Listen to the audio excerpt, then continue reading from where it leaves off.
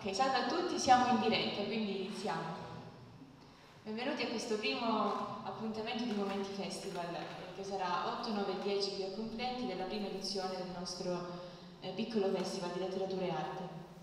Oggi abbiamo la fortuna e l'onore di avere con noi Riccardo Cristiano, che eh, è stato il primo a sapere del festival e l'abbiamo annunciato per prima lui, quindi ci sembrava giusto e, e davvero bello iniziare proprio con un autore che è stato tanto vicino all'inizio. Grazie. Quindi lascio la parola a Maria Giulia e a Riccardo Cristiano che presenterà il suo, il suo libro la, la, la, Compagnia del Lupo e la quarantesima porta. Questo è il piccolo inizio.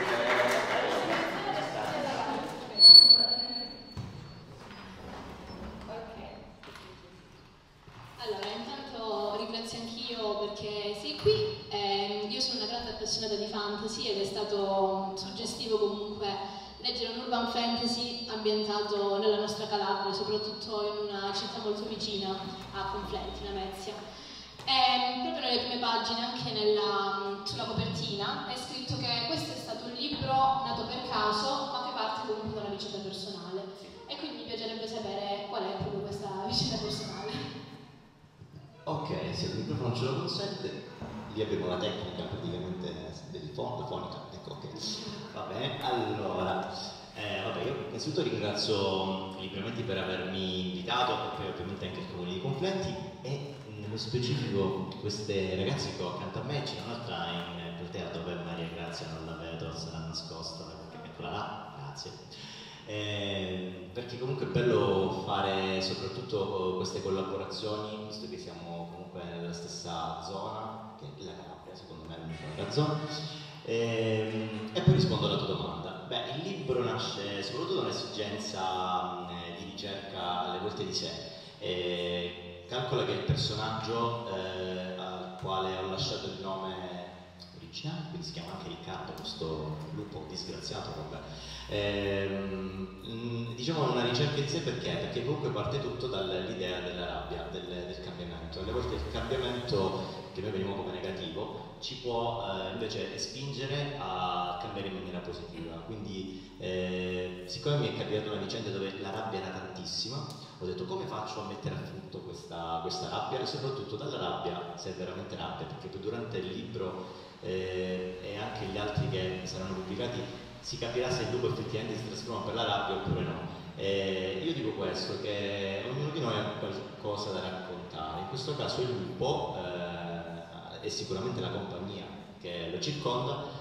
Hanno da raccontare il fatto di essere persone comuni da un certo punto di vista, non supereroi perché comunque non sono dei supereroi, però vogliono eh, fare della loro unicità, non diversità, eh, qualcosa di mh, positivo, un po' come state facendo voi qui a Conflenti, mh, perché questo è il primo diciamo, festival che eh, inizia un percorso.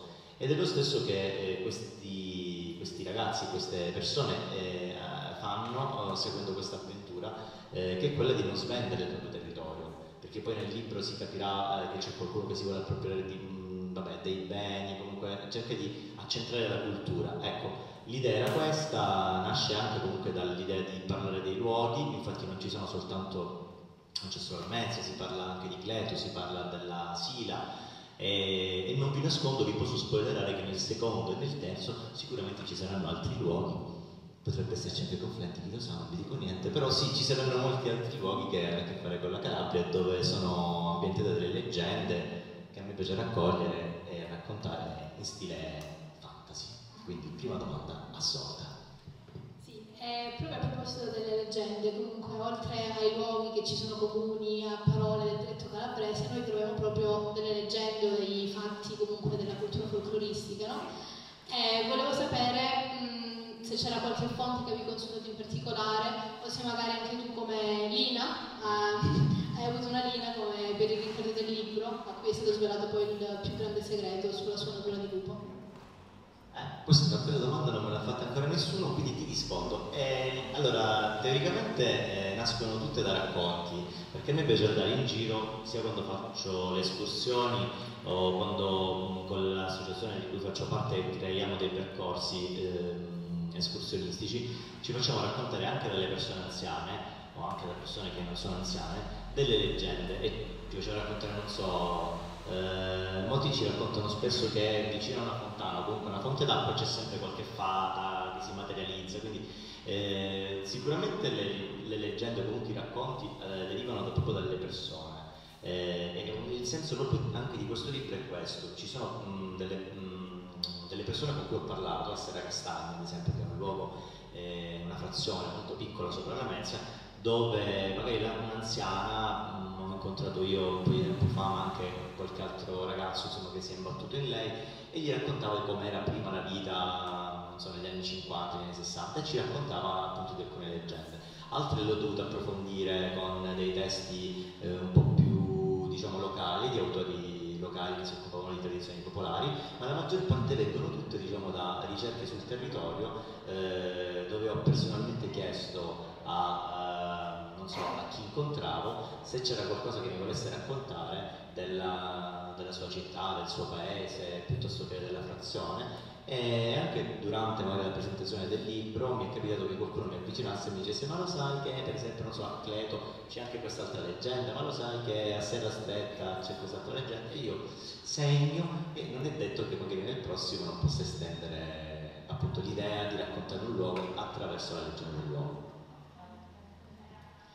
E comunque il tema del, del, libro, almeno secondo me, è proprio l'amicizia. E i protagonisti, i personaggi ce lo ricordano sempre all'interno del libro con tanti dialoghi. Il mio preferito, vorrei leggerlo.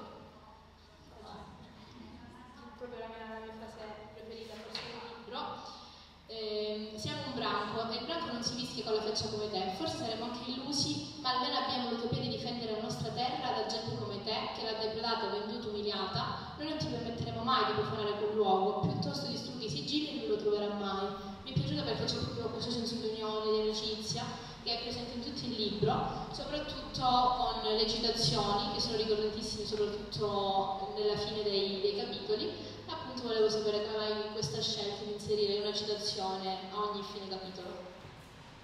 Allora, eh, innanzitutto perché queste citazioni mi hanno anche nell'arco diciamo, della vita ispirato, poi era anche un modo per fare conoscere l'autore della citazione eh, e quindi far uh, spingere il lettore a scoprire quel libro dal, dal quale insomma è tratta la citazione. Eh, di certo l'amicizia è il valore fondamentale di questo libro, ma anche l'amicizia intesa come persone che tu incontri sul cammino che non immaginavi mi pare che è successo anche a voi, cioè parlando poi con Maria Grazia ma anche con Noemi, che capita che le persone si incontrino per caso eh, e decidono poi di fare un'avventura insieme, un percorso insieme, ed è la cosa secondo me più bella, persone magari improbabili che si incontrano, magari anche bevendo un bicchiere di vino, in prima fila c'è qualcuno di cui parlava del vino, ma adesso eh, a posto, sì, saluti. Eh, io penso questo, che l'amicizia, anche il mangiare insieme, il bere insieme, condividere delle, eh, delle situazioni insieme, possa portare ad approfondire i rapporti di amicizia. In questo caso il rapporto di amicizia è basato anche su eh, delle persone che hanno eh, la voglia di non eh, dire vabbè è così, non possiamo farci niente, oppure dire vabbè eh, il mondo va a rotoli, lasciamo che vada a rotoli. Invece loro decidono di dire no, ok, facciamo la nostra battaglia, troveremo altre persone come le troveranno mh, mm, sul loro cammino eh, e ognuno a suo modo, io penso per esempio a Fabio che è il disabile della situazione, eh, decide di dire no, io non sono disabile, i disabili siete voi che decidete di essere eh, proprio persone ferme, invece no, lui cerca di crearsi il suo spazio, se lo crea essendo secondo me uno dei punti leganti del gruppo eh, e l'amicizia nasce anche da questo, dal fatto che magari il lupo può sembrare la persona più sicura, in realtà non lo è alle volte perché ha bisogno di alcune conferme, proprio perché guardandosi allo specchio spesso e volentieri non sa riconoscersi e dagli amici arrivano le risposte che poi magari sono dentro di lui e ha bisogno soltanto di essere stimolato per eh, farle venire fuori. Quindi l'amicizia è fondamentale nel libro e nella vita reale. E a proposito dei personaggi, qual è quello che ti rispecchia di più e qual è quello invece che ti sei divertito maggiormente nel, nelle scrivere, nello scrivere? Ecco. È un'altra domanda particolare, perché poi in realtà no, sul, nel libro tutti i personaggi, tutti i personaggi a parte vabbè, sono un po' caratterizzati da quello che è la mia mia idea dei personaggi. Quindi ho aggiunto sicuramente delle cose eh, che mi appartengono. Quindi mh, tutti i personaggi hanno un po' di me, un po' mi piacciono. Sicuramente quello che mi, mi ispira di più, forse perché mi è molto vicino, eh, ripeto, è Fabio per quanto riguarda la, eh, il fatto di non, di non mollare mai. Poi c'è anche l'amicizia con Luigi che è una, è una parte fondamentale perché siamo molto simili e diversi sia nella vita reale che nella, nel racconto, e, però l'idea di Fabio è come se fosse quella parte di te eh, che tu non vuoi accettare e che in realtà eh, ti spinge ad accettare perché ti guarda allo specchio, ti, ti, guarda insomma con una sorta di sincerità, eh, dice, mi lamento io, quando in realtà lui è più forte di me, è forse il vero supereroe del, del racconto, però penso che il, eh, siano un po' tutti i personaggi a rappresentare un pezzettino di me. Divertito a farne qualcuno, forse a dare delle, delle parole a dei personaggi, cioè farli parlare e farli raccontare delle cose in un determinato modo, anche quando magari non so, mi prendono in giro o piuttosto quando si organizzano delle cose, tipo delle mangiate, tanto per cambiare, e poi si finisce magari a bere e raccontare degli aneddoti. Quindi io penso che sempre la compagnia è al centro di tutto qui. Eh, un altro punto cardine comunque dell'opera, di cui abbiamo anche parlato durante questa intervista, è proprio eh, l'ambiente. No? Libramenti nasce come associazione culturale, quindi mh, vuole rendere in qualche modo conflenti più bella di quanto già non sia un esempio, ad esempio il, il murales che è stato realizzato. Eh, siccome fai parte anche di associazioni che si, si preoccupano della salvaguardia del territorio, eh, volevo sapere quale consiglio potevi dare sia a me come associazione, ma in generale a tutti per la tutela proprio dell'ambiente. Quindi questa è una domanda più personale rispetto che, che sul libro. Guarda, io penso che eh, nessuno di noi eh, deve avere l'aspirazione di cambiare il mondo, però magari puoi cambiare il tuo piccolo mondo, quello che c'è vicino a te, quindi non puoi aspettarti che il mondo cambi di giorno, da, un giorno all'altro, non pensare che magari so, i cambiamenti climatici piuttosto che l'inquinamento possono ehm, cambiare se magari uno Stato impedisce alle persone di so, consumare plastica piuttosto che riutilizzare le bottiglie di vetro, quindi deve essere comunque un qualcosa che nasce da noi. E nasce sicuramente dalla scuola, nasce sicuramente dalla famiglia e anche dalle persone come voi, come noi, che ci si unisce e si decide magari di raccontare un luogo, di decidere eh, di fare dei cartelli per non sporcare nel bosco, ad esempio, non so quando si va a fare un picnic, piuttosto che eh, cercare di spingere le persone a utilizzare, non so, anche delle lampadine a risparmio energetico o i comuni a utilizzare il solare piuttosto che eh, altri tipi di energie, quindi io penso che dipenda soprattutto dalla persona, cioè dal, dal singolo, quindi non c'è un consiglio vero e proprio, il consiglio secondo me è quello di cercare di trovare persone simili a noi, che abbiano la stessa voglia, anche se magari all'inizio sembrano pochi, di intraprendere un percorso. E, ripeto, come voi quando vi siete, vi siete uniti la prima volta avete eh, avuto l'idea di creare questa associazione, non immaginavate di arrivare fino a questo punto, non immaginavate di creare un murale, non immaginavate di creare tutta questa eco mediatica che c'è stata e c'è tuttora, di arrivare a un festival. Quindi dalle piccole cose, che alle volte sembrano inaspettate ma niente accade per caso, eh, sono accadute e ci possono portare a cambiare davvero il mondo. Però non dobbiamo pensare di cambiarlo il mondo, dobbiamo semplicemente viverlo e vivendolo alla fine lo cambia. Allora, eh, questa è la mia ultima domanda, ci siamo. Allora, l'opera si conclude comunque con quello che si chiama in gergo un cliffhanger, ok? Quindi un, un colpo di scena. Eh, io vorrei uno spoiler sul sequel, dato che hai detto che comunque ci sarà, sarà una trilogia, quindi se lo puoi fare uno spoiler. Allora, vabbè, calcolando che qui nessuno mi sa che ha letto il libro, che comunque è lì a destra, anzi no, la vostra sinistra, ok, mia destra o sinistra chi lo volesse acquistare. Eh, sì, perché non posso dire come finisce, però posso mh, darvi un'idea di che potrebbe essere. Allora, innanzitutto eh, un bambino mi ha fatto notare questa cosa. eh, mi ha fatto una domanda quando ho fatto la presentazione a Tognano Castello. C'è un bambino di 10 anni che mi ha detto: Ah, però eh, si chiama la quarantesima porta. E tu quindi vuol dire che ce ne sono altre 39? Bravo bambino, hai capito tutto.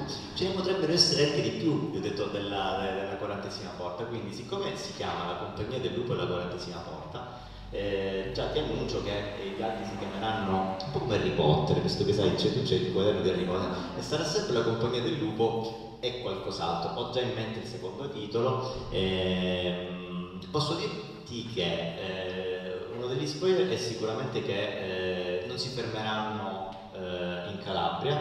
Eh, arriveranno sicuramente in Sicilia, questa cosa, perché c'è un collegamento con un personaggio storico, che comunque mi piace anche legare i personaggi storici realmente esistiti a delle teorie che ci sono, comunque delle leggende che ci sono, quindi ci sarà anche un collegamento con la Sicilia e la Calabria, eh, andranno anche all'estero, eh, in un posto che però se te lo dico poi già spoileriamo qualcosa, però ti posso dire che già in lupo, siccome se ne parla anche nel primo racconto, eh, si fa molto le leggende nordiche.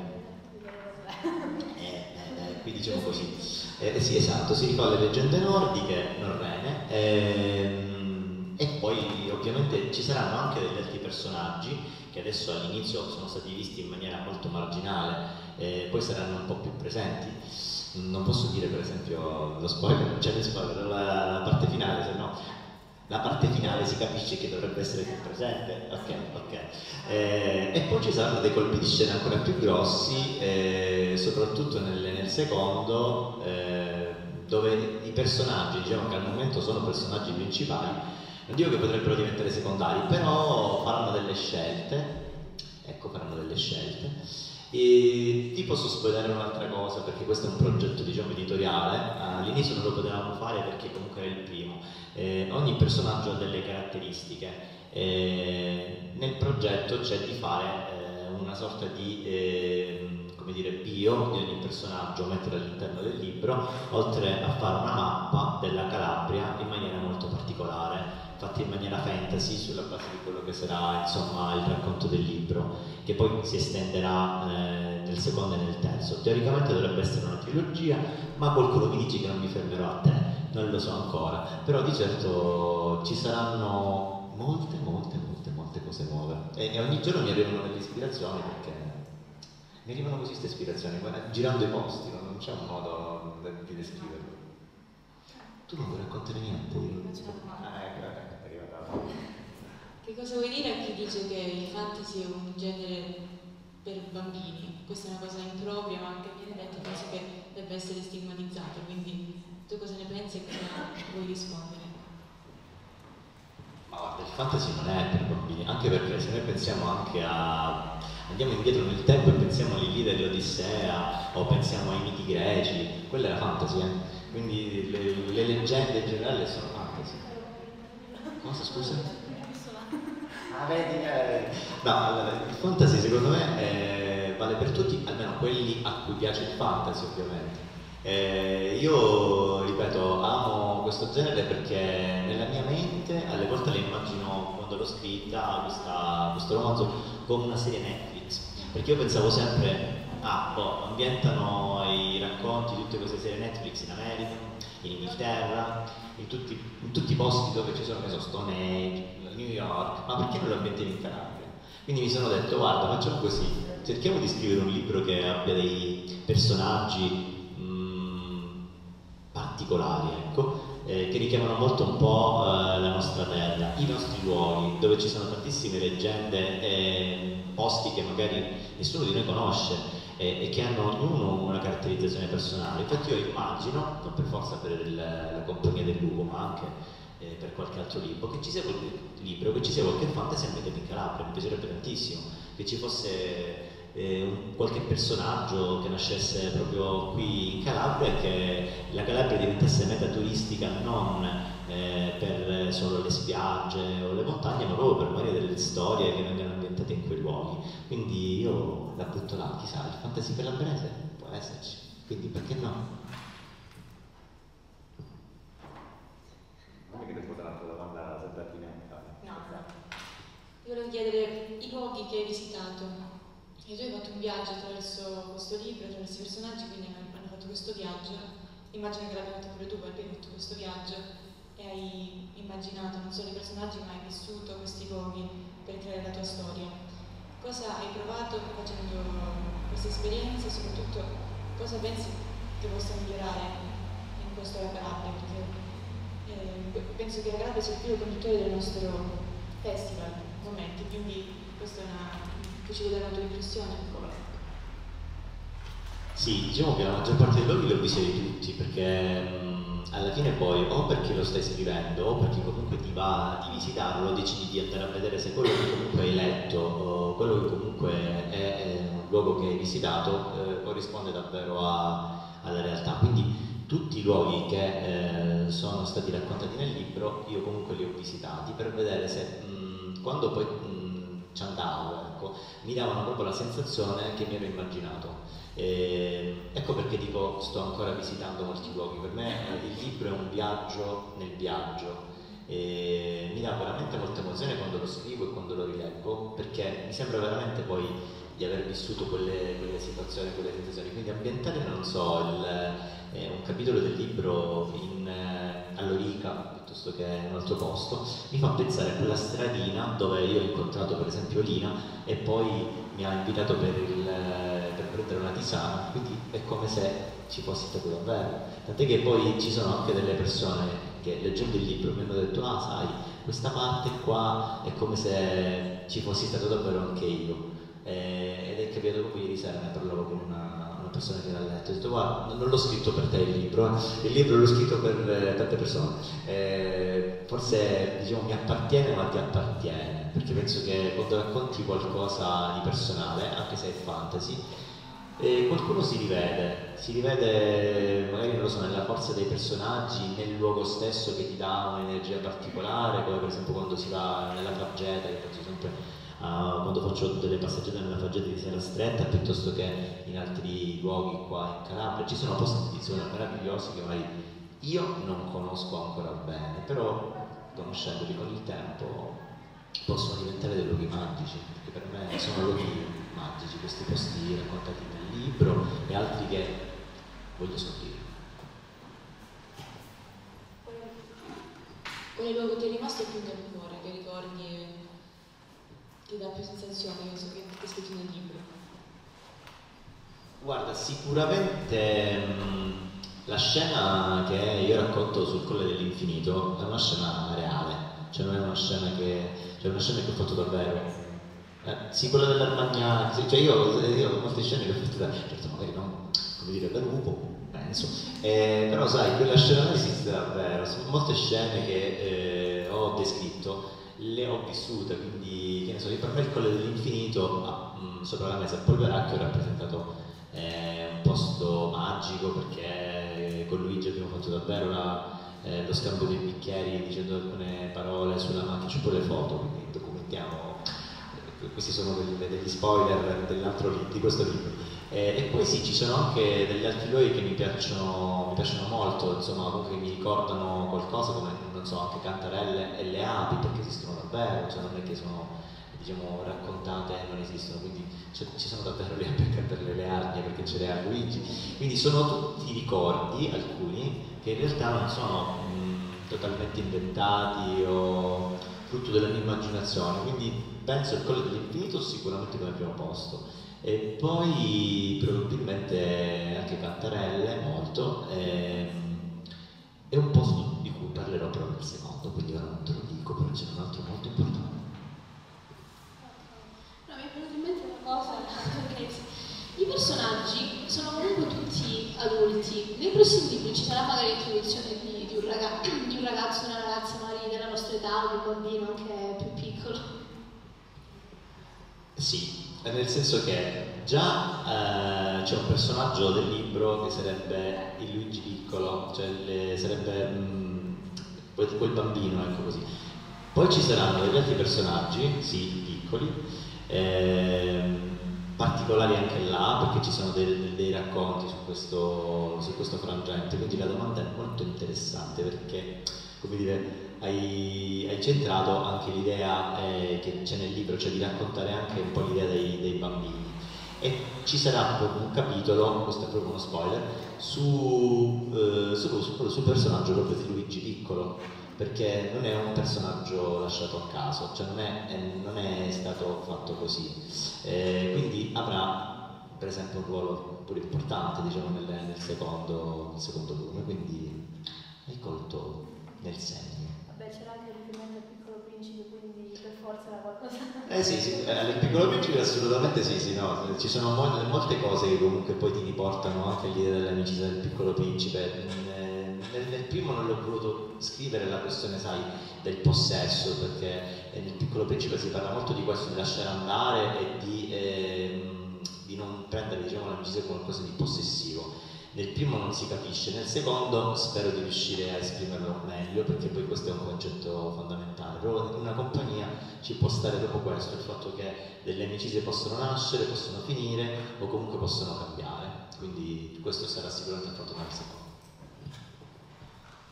Allora, una domanda, perché proprio il lupo? Perché un altro animale mitologico, un'altra creatura mitologica, un'altra creatura umana, ecco. Perché proprio il lupo? Il lupo perché poi inteso è un po' manale. No. Non proprio manale, però...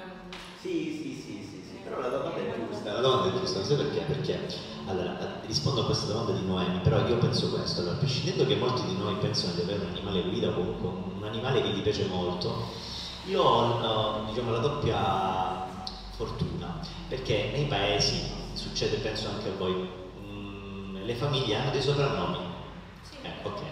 La mia famiglia a San Biase veniva chiamata i lupi. Quindi, eh, quindi, quindi, questa è una delle prime diciamo, cose.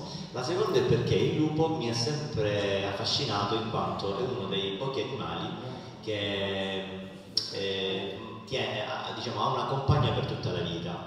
Eh, si, si, occupa della prole, eh, ha un branco e il branco non lo segue per forza perché è un leader, lo segue perché comunque eh, si sostengono a vicenda, quindi comunque fare parte del branco non significa per forza devi essere un leader di quel branco. Quindi per me significava anche questo, che nella compagnia non ci deve essere un capo. Poi c'è qualcuno che magari può avere un'idea in quel momento vincente, però come nella compagnia, solo perché il lupo me l'hanno voluto mettere al centro, ma non, in realtà non è al centro, quindi potrebbe stare anche ai margini.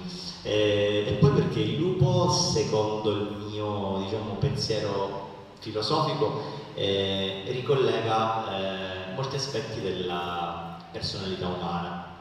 Io lo, lo voglio eh, spiegare così. Eh, al momento, diciamo, nel primo volume ho fatto conoscere diciamo, la personalità del lupo. Nel secondo e nel terzo il lupo capirà anche chi è realmente e perché si, si, diciamo, si trasforma in lupo con la rabbia. Eh, io penso che il lupo rappresenti molto dell'umanità perché viene descritto alle volte come cattivo fav nelle favole. In realtà eh, molti di noi possiamo venire, essere, venire, ad essere descritti come cattivi perché veniamo giudicati cattivi. In realtà bisogna conoscere per poter eh, vedere se veramente il lupo è cattivo o se è soltanto una favola. Io penso che il lupo non sia cattivo e quindi il lupo rappresenta un po' l'essere, nemmeno l'animale, l'essere che fa parte della storia e, e della mitologia, perché io parlo molto di mitologia proprio di questo libro, quindi il fantasy a lupo, si sposa perfettamente. Non il vampiro, ma il lupo, se no ci sta.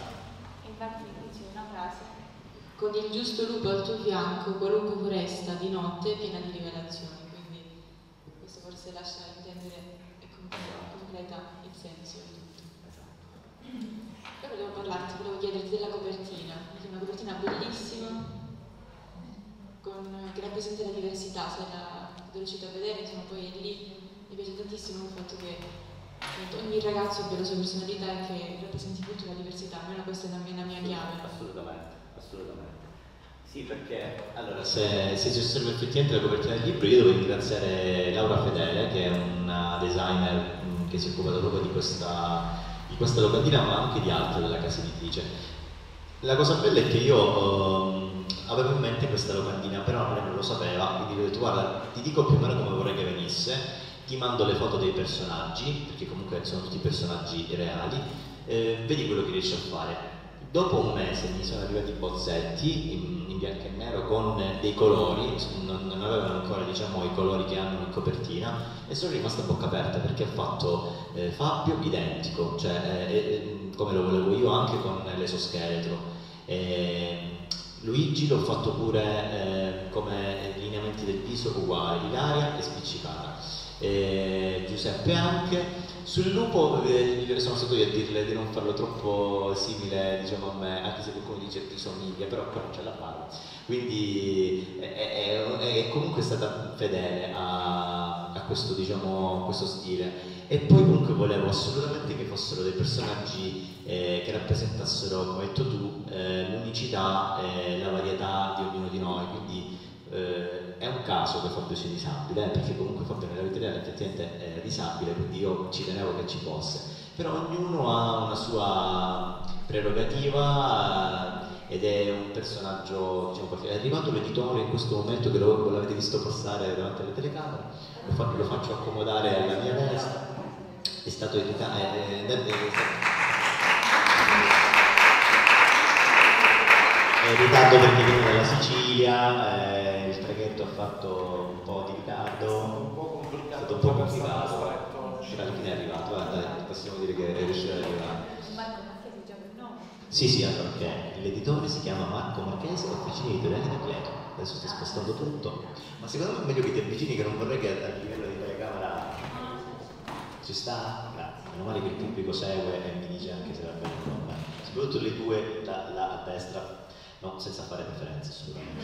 Eh, ok, io ho risposto alla domanda della, della, copertina che, ripeto, a me piace molto perché lei è stata proprio brava nel concepirla. Ci saranno anche delle, delle variazioni ovviamente nella seconda, eh, perché ci saranno anche delle variazioni su diciamo, l'abbigliamento dei personaggi, cambierò delle cose, per così dire, questo è un altro spoiler, però poi ne parleremo. Noi mi suggerisce una macchina del tempo, eh, potrebbe, potrebbe darsi un viaggio. Fare un'altra dimensione.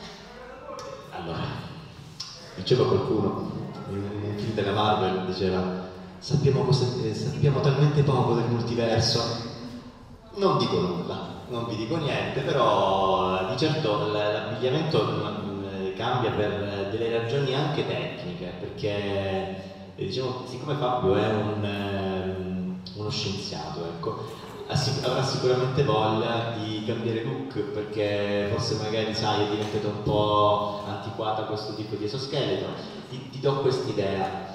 Eh, poi sicuramente ci sono tante questioni che hanno a che fare con il tempo, lo spazio, perché qui mischiamo passato, presente e anche futuro.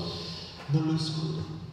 Non lo escludo, però c'è di tutto, sì, può esserci. Passo la parola a Marco? Ok, allora dai, visto che è arrivato facciamo parlare l'editore.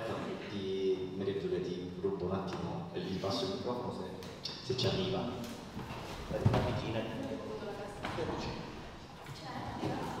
Buonasera. Allora, io mi scuso prima di tutto per il mio eh, ritardo, ma purtroppo rientrando dalla Sicilia oggi ci sono un po' di rientri ed è stato un po' complicato attraversare lo stretto perché c'era veramente, veramente molto traffico.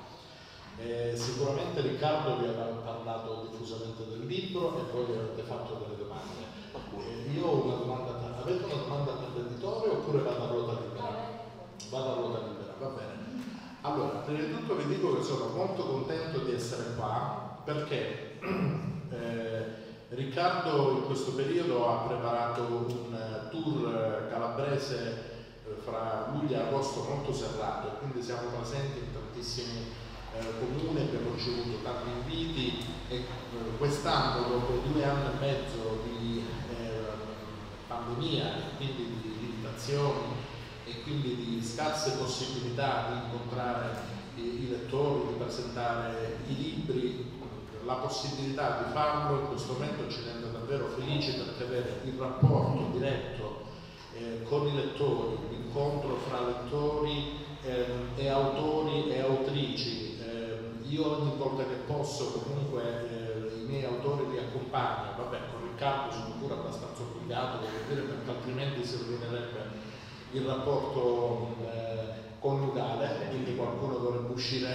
uscire di casa, no ma scherzo naturalmente, e vi, posso raccontare di questo libro un paio di curiosità. Questo è per Riccardo il suo secondo libro, il suo primo libro è il Mi dichiaro uniti, che è uscito a novembre del 2019, questo libro ha sei mesi.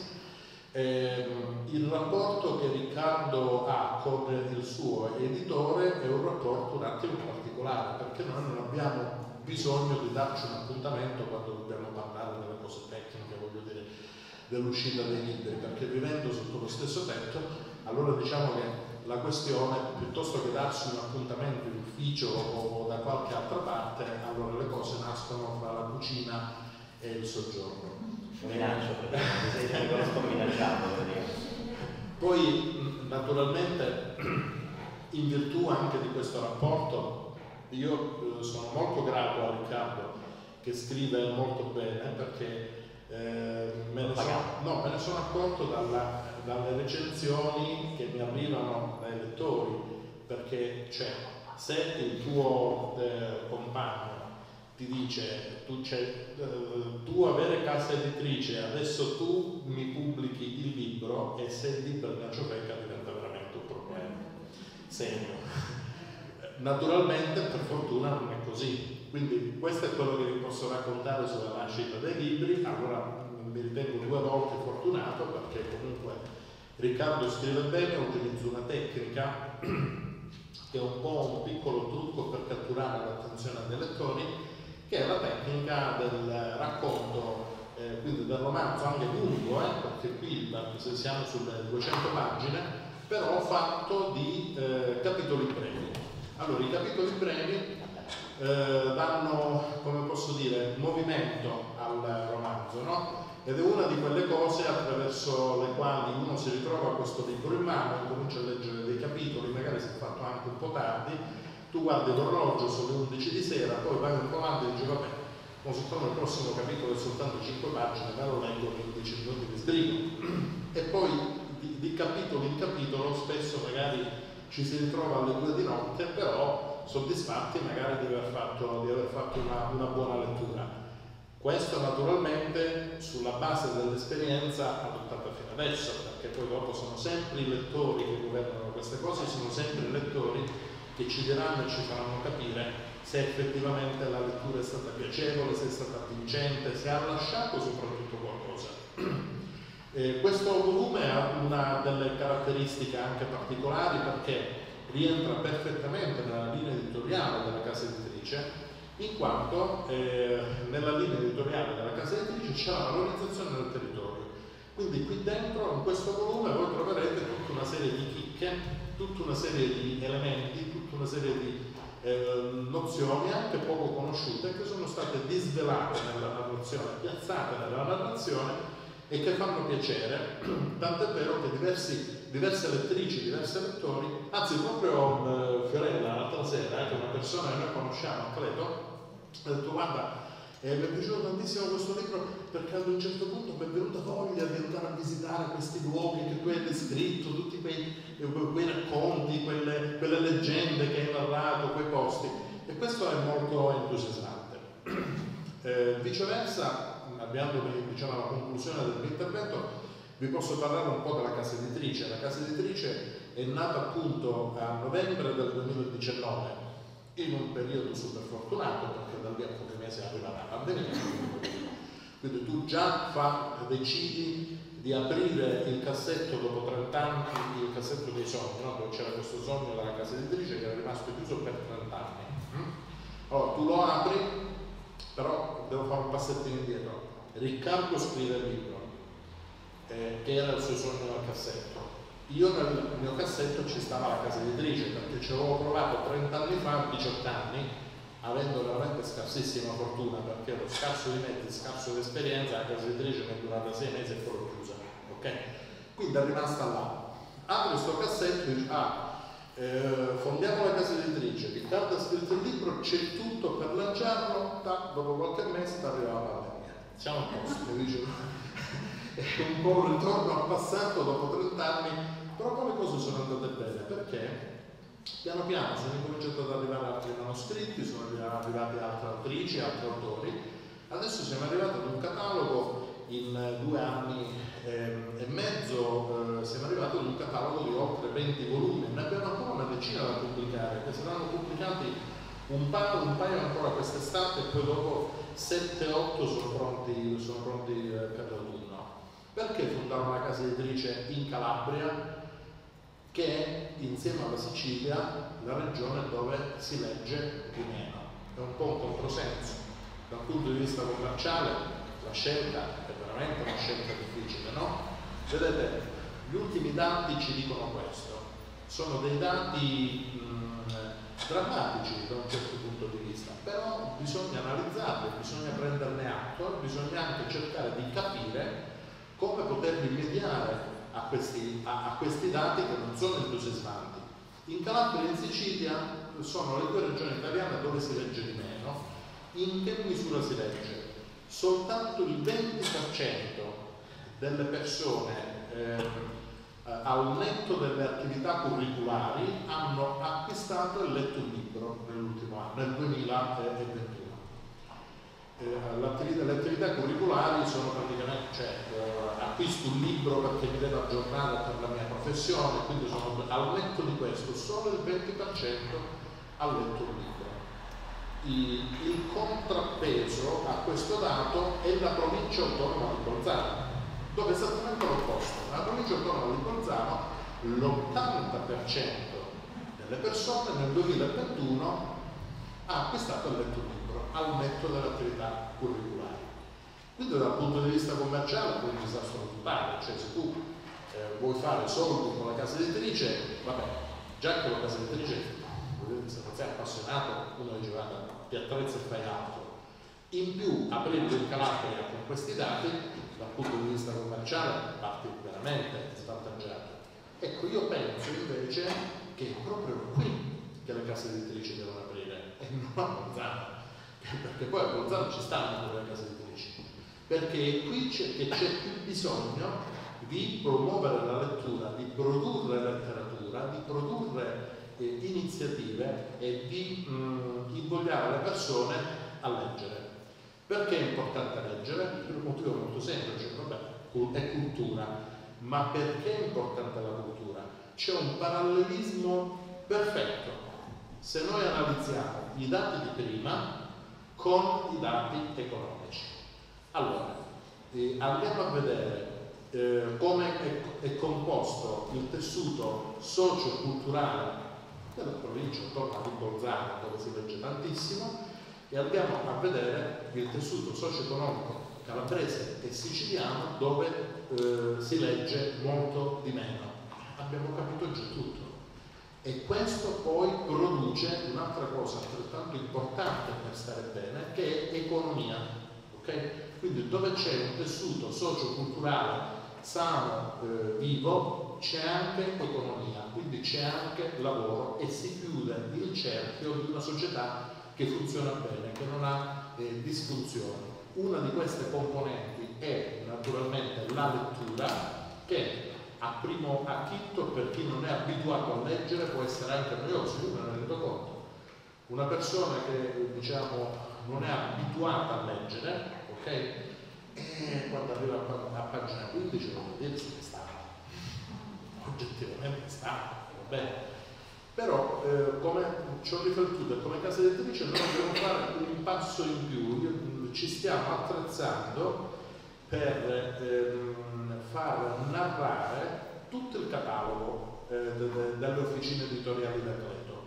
Che significa questo? Che insieme al libro già abbiamo la versione digitale, che magari può essere comoda per chi c'è il computer, il tablet, chi, chi vuole leggere già in formato elettronico, oltre naturalmente al piacere di sfogliare il libro di carta.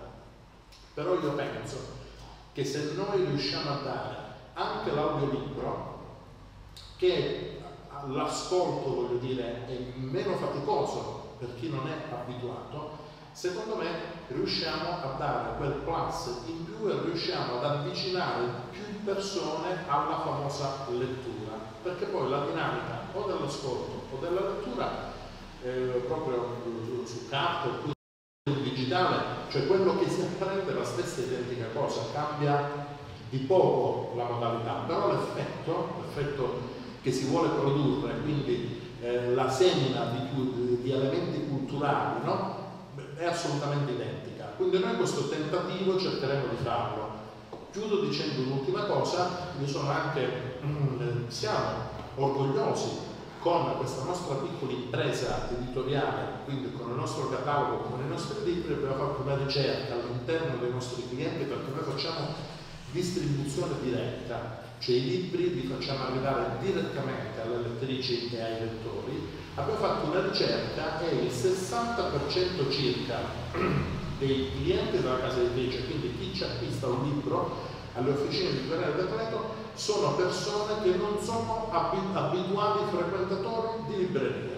Allora questo ci riempie d'orgoglio perché significa che noi riusciamo a raggiungere un pubblico che comunque non è abituato e noi riusciamo ad instradarlo perché naturalmente se tu utilizzi come casa editrice soltanto il canale libreria dove comunque nel canale libreria lo sappiamo eh, vabbè questa è una cosa un po' più eh, eh, tecnica, no? ci sono dei grandissimi problemi sulla distribuzione libraria italiana e anche sulle librerie stesse. Se voi frequentate le librerie vi accorgerete dopo poco tempo che girano sempre gli stessi testi e sempre gli stessi nomi, che sono quelli che appartengono ai grandi gruppi e che coincidono con quelli che si possono permettere le grandi campagne pubblicitarie e questo qui non va bene, perché mh, mm, per esempio stanno scomparendo del tutto le librerie indipendenti, dove ci sono i librai che fanno la selezione di ciò che mettono sul banco delle novità e nella propria libreria. C'è invece un'omologazione,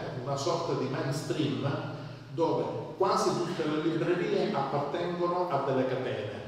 Le catene sono legate quasi tutti a dei grandi gruppi editoriali e poi ti girano sempre gli stessi nomi e sempre gli stessi titoli. E questo qui non va bene. Ecco perché abbiamo un po', eh, stiamo nel nostro micro, nel nostro piccolo, cercando di cambiare un po' le regole del gioco, allora ho detto va bene, sai che ce facciamo? Una distribuzione diretta, adesso ci attrezziamo per gli audiolibri perché non è possibile che l'audiolibro, che è interessante, è bello, tu in Italia lo puoi acquistare solo attraverso Amazon, che possiede una società che si chiama Audible, ma che non ti lascia la libertà di dire nei tuoi 13.000 titoli c'è il libro di Riccardo che mi interessa acquistare come fai appena ascoltarlo. No, devi fare l'abbonamento. Naturalmente negli Stati Uniti, eh, in Canada, in Australia, nel Regno Unito, i consumatori, voglio dire, gli hanno detto di no ad Amazon. Lì è possibile fare questo. In Italia no in modo bizzarro. Prima fare l'abbonamento e dopo puoi accedere a quei titoli. Questo non è giusto perché se io sono interessato solo al libro di Riccardo non ho capito perché devo essere obbligato a fare questo benedetto eh, abbonamento. Bene, la, le officine editoriali da tanto appena riusciranno ad organizzarsi e si stanno attivando e attrezzando per fare ciò, l'audiolibro insieme alla versione cartacea lo darà gratis io vi ringrazio per avermi ascoltato, mi scuso di nuovo per il ritardo, mi taccio. Eh, è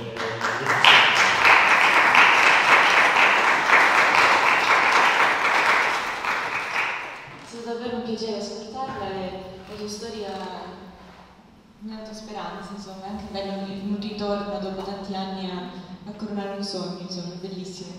Ringrazio eh, il signor Marco Marchese e Riccardo Cristiano per, per la loro comprensione, per essere qui tutto quanto, insomma grazie mille. Eh, ci vediamo stasera alle 21.30 al Bar Visora, a Piazza Visora per la, la presentazione eh, Contro i borghi, il bel paese che dimentica i paesi, con Mariano Marotta e il professore Gersosimo. Ok, stasera, grazie mille.